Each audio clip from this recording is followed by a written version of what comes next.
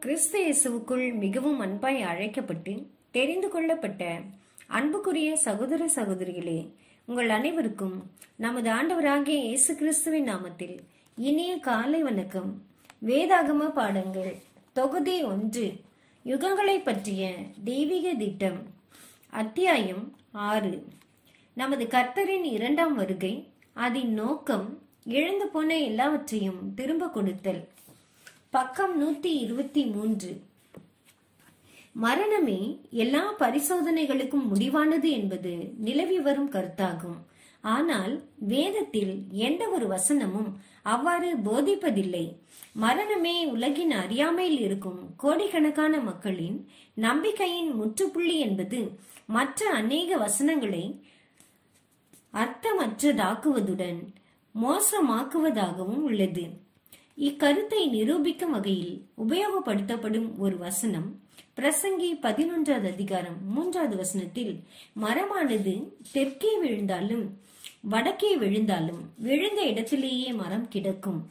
இது மனிதனுடைய எதிர்காலத்துக்கு சம்பந்தப்பட்டதாக இருப்பின் ஒருவன் எந்த நிலையில் மறித்து கல்லறைக்கு செல்கின்றானோ அவன் மறுபடியும் கல்லறையிலிருந்து எழுந்து வரும் வரை அவனிடத்தில் எந்த மாறுதலும் இருக்காது என்பதே அந்த வசனம் வெளிப்படுத்தும் கருத்தாகும்.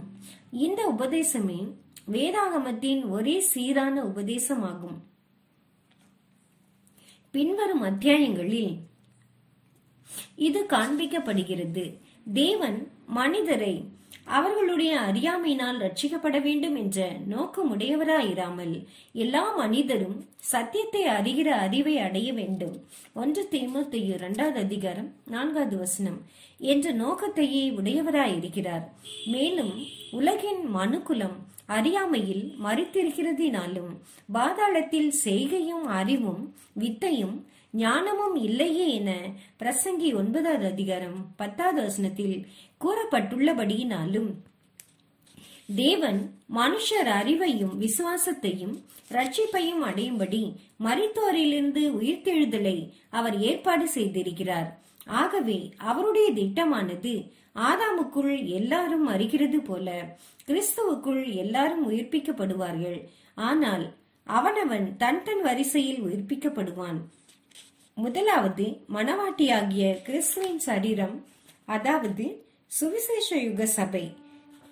அதன் பின்பு ஆயிர வருட அரசாட்சியில் அவருடைய பிரசன்னத்தின் நாட்களில் அவருடையவர்கள் ஆகிற சிறியோர் முதல் பெரியோர் வரை அனைவரும் அவரை அறிந்து கொள்ளும் ஏற்ற காலமாயிருக்கும். ஒன்று